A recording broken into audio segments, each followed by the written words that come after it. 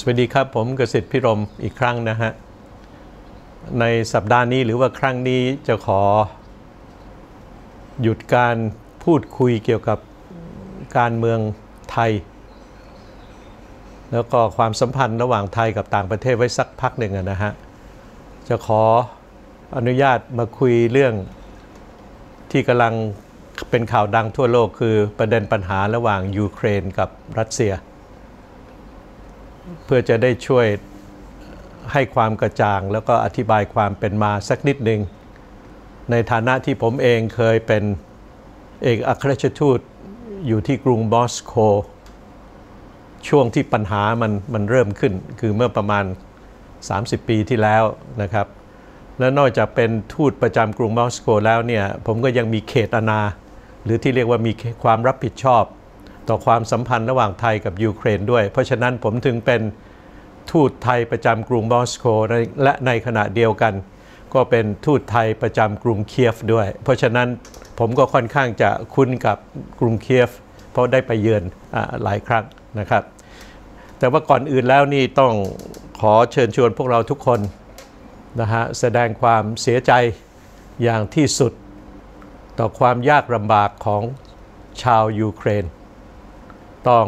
ออกจากตัวเมืองไปอยู่ในชนบท และที่สำคัญคือต้องรีบออกเดินทางจากยูเครน ไปยังประเทศเพื่อนบ้าน เช่นโปแลนด์ ฮังการีมอลโดเวียนะฮะต่างๆ รูเมเนียต่างๆ นานาเหล่านี้ เพื่อจะหนีสภาวะการสู้รบระหว่างทหารยูเครนกับทหารรัสเซีย ซึ่งได้เกิดขึ้นมาแล้วประมาณ 3-4 วันที่ผ่านมา ไอการที่ใครต้องเป็นผู้อพยพต้องพลัดถิ่นฐานของตนเองนั้น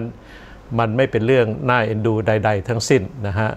แล้วมันก็ต้องพัดพรากจากกันภายในครอบครัว เช่นตัวบิดา หรือว่าลูกชายคนโตที่โตแล้วคงต้องอยู่ที่บ้าน เพื่อจะช่วยรัฐบาลยูเครนต่อต้านกองทัพของรัสเซียนะฮะเพราะฉะนั้นตัวภรรยากับลูกๆ เท่านั้นก็ต้องอพยพแล้วก็ เป็นที่คาดการกันโดยเฉพาะโดยองค์การสหประชาชาติว่า ถ้าเผื่อการสู้รบภายในยูเครนนั้นรุนแรงขึ้น ก็อาจจะต้องมีผู้อพยพยูเครนเข้าไปอยู่ในประเทศรอบๆ ประเทศยูเครน ในยุโรปตะวันตกนี่ก็คงประมาณสัก 5 ล้านคน ไม่น้อย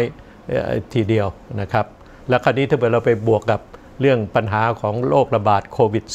-19 มันก็คงจะทำให้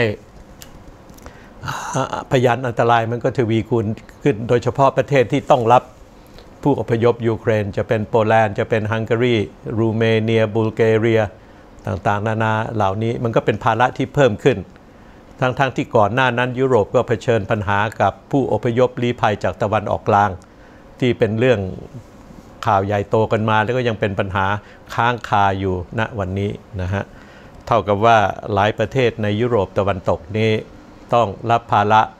ซ้อนแล้วซ้อนอีกเกี่ยวกับผู้อพยพลี้ภัยก็ต้องขอแสดงความเห็นใจด้วย ส่วนประเทศไทยถึงแม้ว่าจะอยู่ห่างไกล แล้วเราก็เป็นมิตรกับทั้งรัสเซียและก็ยูเครน ก็ถามว่าแล้วพวกเราชาวไทยจะทำอะไรได้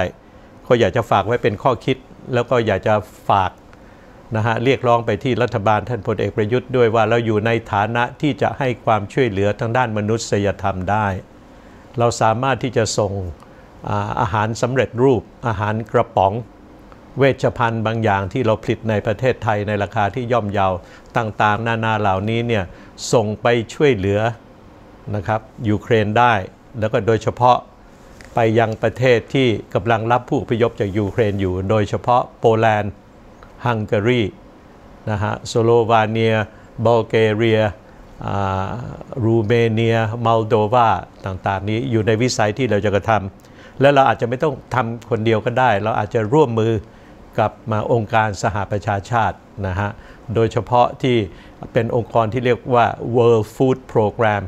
คืออสำนักงานสหประชาชาติ ว่าด้วยแผนการช่วยเหลือทางด้านอาหารให้กับกลุ่มชนที่เป็นผู้อพยพลี้ภัย หรือว่าเผชิญกับไม่สภาวะโลกร้อน ปลูกข้าว หาอาหารไม่ได้ยังเป็นการเพียงพอ เพราะฉะนั้นประเทศไทยเราชาวไทยก็ยังอยู่ในวิสัยที่จะจะยื่นมือให้ความช่วยเหลือได้ นอกเหนือจากเราอาจจะร่วมกับประเทศอาเซียนนะฮะร่วมกัน 10 ประเทศ เรียกร้องให้มีการเจรจาสันติภาพ ยุติการหยุดยิงเราสามารถที่จะส่งเสียงออกนะฮะจากเวทีของอาเซียนได้ แล้วก็อาเซียนร่วมกันเราก็อาจจะไปส่งเสียงที่ องค์การสหประชาชาติ ทั้งทั้งที่สำนักงานใหญ่ที่นครนิวยอร์กแล้วก็สำนักงานที่สองรองลงมาคือที่นครเจนีวา ประเทศสวิตเซอร์แลนด์เพราะฉะนั้นเราก็ยังอยู่ในวิสัยที่จะทำการอย่างไรได้บ้าง ส่วนประเด็นที่สองก็คืออาจจะมีความข้องใจหรือสับสนว่าทำไมมันถึงต้องถึงขั้นรบกันณวันนี้ ระหว่างรัสเซียกับที่ยูเครน แล้วก็ฟังข่าว เปิดวิทยุโทรทัศน์ออกมา หรือดูในหน้าหนังสือพิมพ์ ก็จะเห็นว่าบรรดาประเทศตะวันตกทั้งหมด หรือประเทศที่เป็นประชาธิปไตยทั้งหมดทั่วโลก รวมทั้งญี่ปุ่นนะฮะออสเตรเลียที่อยู่ห่างไกลยุโรปเนี่ยก็ได้ประกาศออกมาแล้วประนามรัสเซียนะฮะที่ได้ทำการบุกรุกยูเครน แต่ว่าการบุกรุกของรัสเซียนะฮะไปที่ยูเครนนั้นมันเป็นผล ลับออกมาจากมันเรื่องต้นทาง แต่ว่าคนมักจะไม่พูดว่าไอ้ต้นทางและต้นเหตุมันคืออะไรแน่ผมก็ขอจะถือโอกาสนี้ชี้แจงความเป็นมาสักนิดหนึ่งนะฮะ เพื่อจะเสริมสร้างความเข้าอกเข้าใจและจะได้ร่วมกันส่งเสียงเพื่อจะให้มีการแก้ปัญหาโดยสันติได้ อันนี้ก็ต้องขอเท้าความไปเมื่อประมาณ 30 ปีที่แล้ว ช่วงที่สหภาพโซเวียตนะฮะตอนนั้นสหภาพโซเวียตนั้นเริ่มจะล่มสลาย หรือเริ่มที่จะอะไรครับพละกำลังมันอ่อนแอลง มันก็มีข้อตกลงระหว่างผู้นำของสหภาพโซเวียต ในขณะนั้นนะฮะเมื่อประมาณ 30 ปีที่แล้วคือท่านโกบาชอฟนะฮะเราคงจะจำชื่อกันได้ กับอดีตประธานาธิบดีของอเมริกาคือท่านประธานาธิบดีบุชผู้เป็นบิดานะฮะเพราะว่าตระกูลบุชเนี่ยมีประธานาธิบดีสองคน คือบุชผู้พ่อกับบุชผู้ลูกนะฮะในการตกลงระหว่างกอร์บาชอฟกับบุชเมื่อประมาณ 30 ปีที่แล้วหลังจากที่กำแพงเบอร์ลินได้ล่มสลายไปท่านทั้งหลายคงจะจำได้นั้นก็คือว่าทางฝ่ายสหภาพโซเวียต ไม่ขัดขวางการที่จะให้เยอรมันตะวันตก ซึ่งอยู่โลกเสรี รวมประเทศกับเยอรมันตะวันออก ซึ่งเป็นประเทศในอาณัติของสหภาพโซเวียต แล้วก็อยู่ในค่าย คอมมิวนิสต์เนี่ยรวมเป็นประเทศหนึ่งเดียวกันนะฮะทางโซเวียตไม่ขัดข้อง เพราะว่าโซเวียตมีกองกำลังทหารอยู่ในเยอรมันตะวันตะวันออกก็ไปครับว่ากอร์บาชอฟต้องการที่จะเห็นการปรองดองต้องการที่จะเห็นสันติภาพอะไรต่างๆ เหล่านี้ก็ยอม แล้วแต่ว่ากอร์บาชอฟก็ได้บอกกับประธานาธิบดีบุชว่าแต่ขอว่ามีเงื่อนไขหนึ่งข้อ คือยังให้เยอรมันที่รวมกันแล้วเนี่ย คงเป็นประเทศสมาชิกขององค์การร่วมมือทางทหารที่เรียกว่าองค์การนาโตได้ แต่เมื่อเยอรมันยังคงอยู่ในองค์การนาโตนั้นทางองค์การนาโตโดยสหรัฐซึ่งเป็นพี่เรือใหญ่ในองค์การนาโตนั้น จะต้องไม่มีการขยายจำนวนสมาชิกขององค์การนาโตมาประชิดชายแดนรัสเซีย หรือว่าเคลื่อนมาทางภาคตะวันออกของยุโรป บุชผู้พ่อกับโกบาชอฟก็ตกลงกัน แล้วก็มีการรักษาคำพูดกันมาเป็นเวลา 3-4 ปี หลังจากที่ทั้งสองท่านยังอยู่ในตำแหน่งแล้วก็หมดวาระไปนะครับ คราวนี้ประธานาธิบดีคนต่อมาของสหรัฐอเมริกาคือบิลคลินตันส่วนของโซสหภาพโซเวียตซึ่งล่มสลายไปแล้วก็กลายมาเป็นประเทศรัสเซียนั้นผู้นำคือเยลซินนะครับช่วงนั้นเนี่ย สหรัฐอเมริกาก็นำนาโตให้ขยายสมาชิกประเทศ อันได้แก่พวกประเทศในกลุ่มบอลติก ลัตเวีย ลิทัวเนียใช่ไหมแล้วก็เอสโตเนีย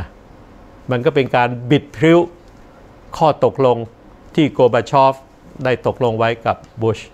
แล้วก็ต่อต่อมาจนถึงบุชผู้ลูก องค์การนาโต้ก็ได้ขยายจำนวนสมาชิกโดยเอาโปแลนด์ เอาฮังการี เอาเช็กเข้ามาด้วย มันก็เป็นการบิดพลิ้วรอบใหญ่ครั้งที่สอง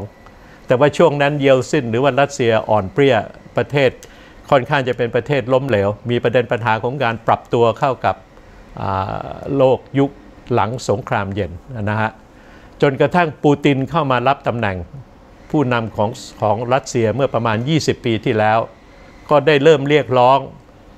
ว่าฝ่ายเนโตจะต้องปฏิบัติตามและยุติการที่จะคิดที่จะขยายจำนวนสมาชิก แต่ปรากฏว่าองค์การนาโต้ก็ยังไม่ยินยอมนะฮะมาจนถึงจากบุชผู้พ่อมาคลินตันมาบุชผู้ลูกมาจนถึงโอบามาอะไรพวกนี้ แล้วมันก็มีการประชุมสุดยอดขององค์การนาโต้ที่เมืองหลวงของประเทศรูมาเนีย คือกรุงบูคาเรสต์เมื่อปี 2008คศหรือว่าพศก็คือ 2,500 51 ได้มีการประชุมสุดยอดของผู้นำขององค์การเนโต20กว่าประเทศกับประมาณ 27-28 ประเทศ แล้วก็ได้มีมติออกมาว่า องค์การนาโตพร้อมที่จะรับยูเครนและจอร์เจีย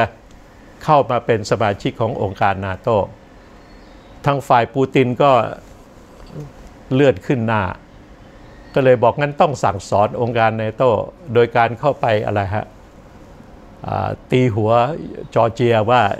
อย่าได้คิดอ่านในการที่จะสมสมัครตัวเองเข้าเป็นสมาชิกขององค์การนาโตแล้วก็ตีศีรษะของยูเครนด้วยโดยการอะไรฮะเข้าไปยุยงชาวยูเครนที่พูดภาษารัสเซียหรือเชื้อสายรัสเซียนั้นให้อะไรแข็งข้อกับรัฐบาลกลางของยูเครนที่เคียฟนะฮะเมื่อประมาณปี 2014 นะครับ คือเมื่อประมาณสัก 7-8 ปีที่แล้ว แต่ว่าทางฝ่ายองค์การนาโต้ก็ยังยืนยันในการที่จะเอายูเครน แล้วก็จอร์เจียเข้ามา แล้วถามองค์การนาโต้นะฮะโดยสมาชิกสำคัญสำคัญ เช่นสหรัฐอเมริกา แล้วก็อังกฤษเนี่ยก็เข้าไปช่วยเหลือกองทัพของยูเครนในช่วง 7-8 ปีที่ผ่านมานะฮะเอาเอาผู้อะไรฮะเอ่อที่ปรึกษาทางด้านการทหารเข้าเป็นเป็นพันพันๆคน เข้าไปช่วยเหลือยูเครน เอาอาวุธยุโทโธปกรณ์อะไรต่างๆ เหล่านี้ไปให้ยูเครนมากมายจนกระทั่งถึงนาทีนี้นะมันก็เสมือนกับว่าองค์การนาโต้นั้นให้ทายยูเครนเพื่อจะให้แข็งข้อ หรือว่าทำการเผชิญหน้ากับรัสเซีย ผมคิดว่าปูตินทนไม่ได้เมื่อ 4-5 วันที่แล้วก็เลยกรีทับเข้ามาในยูเครนนะฮะแล้วกำลังจะเริ่มที่จะโอบล้อมเมืองหลวงของยูเครนคือกรุงเคียฟ แล้วก็เมืองสำคัญอื่น ๆ ของอของยูเครนอีกนะครับ หลังจากที่ได้เข้าไปยึดครองไอ้เขตไครเมียอะไรต่างๆ นานาเมื่อ 7-8 ปีที่แล้ว เพราะฉะนั้นจากมุมมองของผมเท่าที่ได้ติดตามนะฮะวิวัฒนาการของประวัติศาสตร์ความสัมพันธ์ ระหว่างนาโต้กับรัสเซียของยูเครนกับรัสเซียแล้วก็ได้เห็นว่าไอ้ความเจ็บแค้นของฝ่ายปูติน หรือว่ารัสเซียมันก็มีอยู่ เพราะว่า ถูกการบิดพริ้วของทางฝ่ายโลกตะวันตกนำโดยสหรัฐอเมริกานะฮะแล้วก็เป็นผู้นำขององค์การนาโตรัสเซียก็ได้ร้องมาตั้งนานแล้วว่า จะทำอะไรไม่ทำอะไรเนี่ยจะต้องคำนึงถึงข้อคิดเห็นความห่วงกังวลว่าด้วยความมั่นคงปลอดภัยของประเทศรัสเซียด้วย ขอผมขอใช้คำว่าอ่าอ่าอ่าภาษาอังกฤษนะฮะเขาจะปูตินใช้คำว่า security concern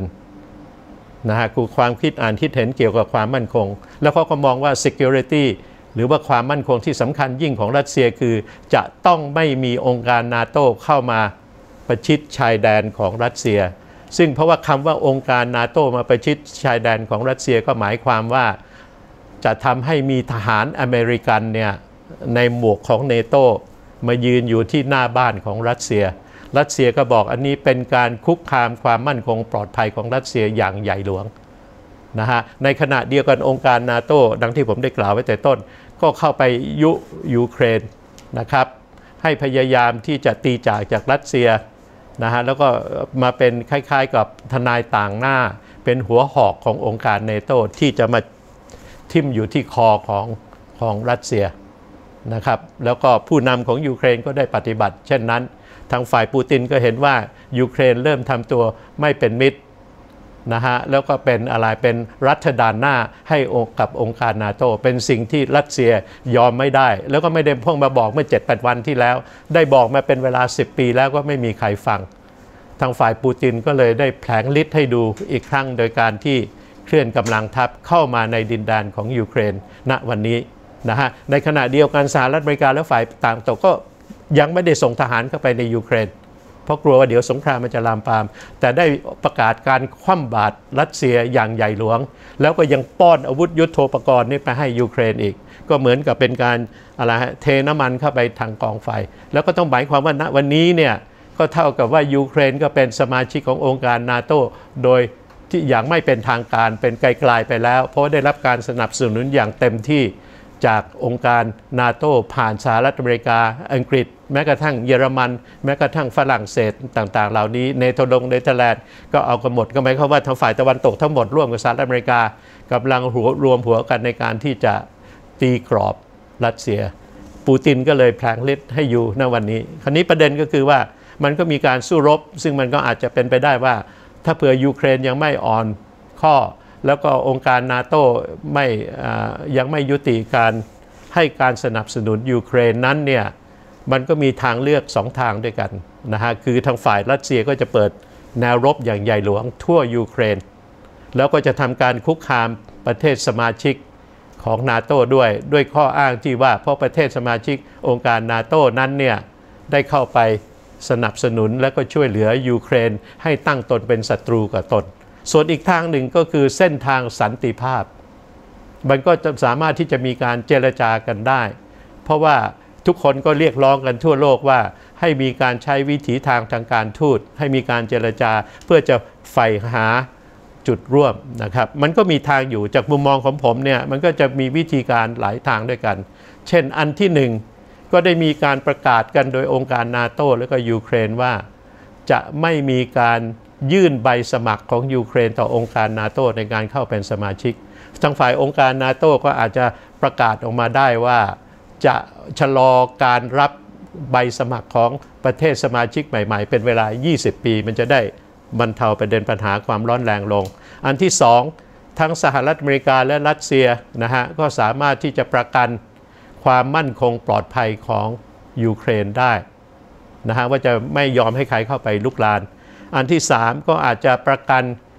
ความเป็นกลางแบบสวิตเซอร์แลนด์ให้กับยูเครนได้นะฮะอันที่ 4 ก็จะต้องมีการเจรจาว่าด้วยความร่วมมือทางด้านเศรษฐกิจ วัฒนธรรม ระหว่างรัสเซียกับทางฝ่ายสหรัฐและก็ยุโรป จะเป็นในกรอบของอกลุ่มอดีตอะไรฮะสหภาพโซเวียตกับทางฝ่ายสสหภาพยุโรปก็ได้ เพราะฉะนั้นมันยังมีเส้นทางและแนวทาง ที่จะเริ่มเจรจากันนะฮะแล้วก็เมื่อตกลงกันว่าจะเจรจากัน ก็จะมีสภาวะของการหยุดยิง ให้ทหารของทั้งแต่ละฝ่ายเข้าไปอยู่ในที่ตั้ง หรืออาจจะขอร้องให้รัสเซียถอนทหารออกมาจากชายแดนยูเครนกับรัสเซียทั้งหมดนะอันนี้มันก็เป็นสิ่งที่ประเทศไทยร่วมกับประเทศสมาชิกอาเซียนด้วยกันสามารถที่จะช่วยกันเรียกร้องได้ เพราะเราทั้ง 10 ประเทศ มันก็ค่อนข้างจะมีซุ้มมีเสียงในเวทีระหว่างประเทศ และอาเซียนทั้งหมดเลยเนี่ยก็เป็นมิตรกับทั้งสหรัฐอเมริกา กับอังกฤษ กับรัสเซียกับยูเครน เราไม่ได้เป็นศัตรูอะไรกับใคร เราก็อยู่ในฐานะที่จะพูดในเรื่องของสันติภาพ แล้วก็ประเด็นปัญหาที่เราจะตั้งขึ้นมาเพื่อจะหาทางออกจากสภาวะของการเผชิญหน้าที่มันอาจจะลามปามกลายเป็นสงคราม โลกครั้งที่ 3 ก็จะเป็นไปได้นะฮะอันนี้เป็นเรื่องที่เราต้องมาช่วยกันคิดทำความเข้าใจ แล้วก็ดูซิว่าประเทศไทยจะทำอะไรได้บ้าง หรือว่าจะไปสนับสนุนเสียงเรียกร้องของประเทศต่างๆ ที่จะให้มีการเจรจานะฮะจีนเองก็มีแนวทางไปไปทางเช่นนั้นนะฮะเราอยากจะฟังอินโดนีเซีย อินเดียแม้กระทั่งญี่ปุ่นเกาหลีใต้ จะว่าอย่างไรหรือประเทศในแอฟริกา ประเทศในตะวันออกกลาง เพราะว่าผมแน่ใจว่าไม่มีใครอยากจะเห็นสงคราม ไม่ไม่มีใครอยากจะเห็นจำนวนของผู้อพยพ เราเปิดทีวีมาก็จะเห็นเด็กยูเครน4าคนพร้อมกับพ่อแม่ อยู่ในสภาพของผู้ลี้ภัย มันไม่ใช่เป็นเรื่องที่น่าดูใด ๆ ทั้งสิ้น และทั้งหมดมันก็เป็นผลผลพลอยได้ของการอะไรยืนกระต่ายขาเดียว ของผู้นำของยูเครนของรัสเซียของสหรัฐอเมริกา และประเทศยุโรปตะวันตกอื่น ๆ ผมคิดว่าเราต้องถอยกลับมา แล้วก็จะต้องกลับไปที่จุดเดิม คือข้อตกลงระหว่างประธานาธิบดีบุชกับโกบาชอฟ และจากนั้นมาดูซิว่าจะทวนเรื่องได้อย่างไร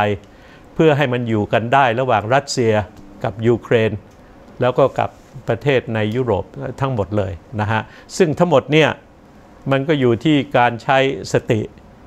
นะฮะแล้วก็ปัญญาเป็นสำคัญก็หวังว่าผู้นำของโลกนะฮะรวมทั้งเลขาธิการองค์การสหประชาชาตินะฮะจะได้เข้ามาช่วยกันอะไรฮะหาทางาจุดปรองดองไกลเกลี่ยแล้วก็เสริมสร้างสันติภาพแล้วก็ความผาสุกของยุโรปทั้งหมด ซึ่งถ้าเกิดมันมีสงครามมันก็มีผลกระทบกับพวกเราแล้วโดยตรง เราก็ทราบกันดีแล้วว่ามันทำให้ราคาน้ำมัน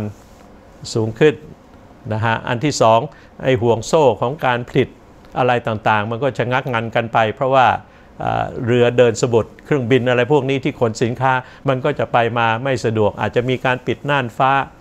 นะครับแล้วก็มันอาจจะมีการแออัดที่ท่าเรือที่นู่นที่นี่อันสืบเนื่องมาจากอะไรครับการสู้รบที่ยูเครน หรือว่าสภาวะสงครามที่มันอาจจะขยายตัวไปที่ยุโรปทั้งหมด ไม่มีใครได้ครับ ทุกคนเสียหมด มันเพียงแต่ว่าจะมากน้อยแค่ไหน คนยูเครนเสียมากที่สุด คนรัสเซียรองลงมา อาจจะมีคนโปแลนด์รองลงมา แล้วพวกเราที่อยู่ห่างไปก็ไปปลายแถว แต่ว่าได้รับผลกระทบกันทั้งหมด แล้วในยุคสมัยนี้มันควรจะเป็นเรื่องของการร่วมมือ เรามีเรื่องสำคัญสำคัญที่เราต้องร่วมมือกัน เช่นเรื่องโลกร้อน เรื่องภัยพิบัติทางธรรมชาติ เรื่องของโรคระบาดเราต้องหาความร่วมมือไอ้ตรงนี้มันมีเรามีปัญหาอยู่เต็มอกแล้วเนี่ย แล้วมันก็ยังมีสภาวะสงครามที่ไม่มีใครคาดคิดว่าจะได้เกิดขึ้นอีกในยุโรปมันก็ได้เกิดขึ้นแล้ว เพราะฉะนั้นมันก็เป็นภาระหน้าที่นะของคู่กรณีที่จะมุ่งไปที่โต๊ะเจรจา แล้วก็พวกเราทั้งหมดก็ต้องสนับสนุนให้ทุกคนกลับมาที่โต๊ะเจรจาเป็นสำคัญนะครับ สวัสดีครับ